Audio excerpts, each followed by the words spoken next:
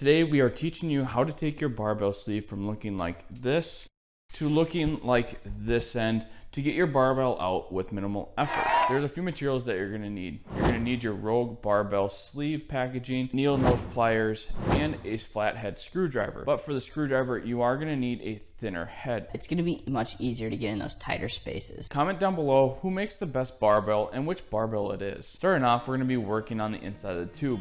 We're gonna be working on straightening those staples as much as possible as we can. The way to do this is prying up against the metal insert. You may have to try different angles until you get the perfect pry that you want. The thing we want to avoid is having these staples being laid flat. It'll make the next processes much faster. The total amount of staples that you're gonna have to do is five staples. This is just something that you should have in the back of your mind with the next processes that are coming up.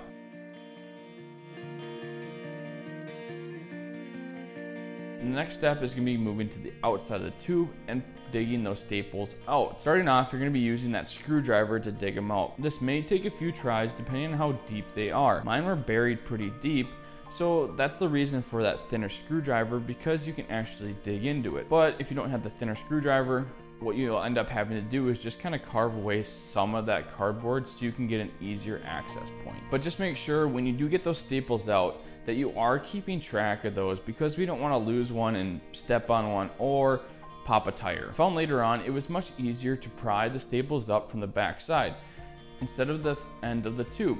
Because the end is so flimsy, you don't get a very good pry. But just beware, some of the staples may split in half. I didn't have this happen. Or what I did have happen is one end pops out first, so you no longer can use that screwdriver. So this is where that needle nose pliers comes in. You'll just use those needle nose pliers to pull that staple out. If you're enjoying the video so far, make sure you make that like button feel stronger by giving this video a like.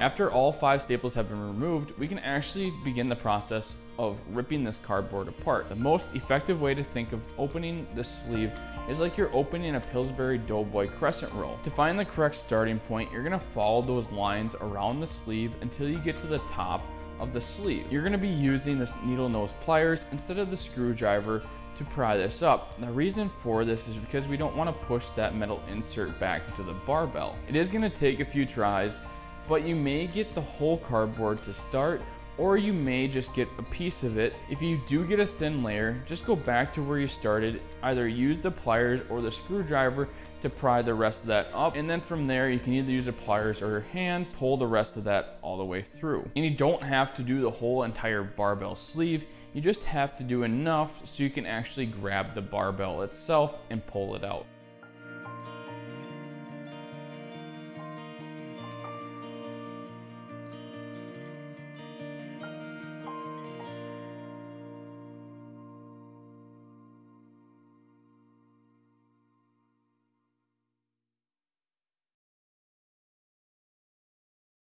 Now that you have a new barbell, make sure you understand the proper maintenance of an Olympic barbell.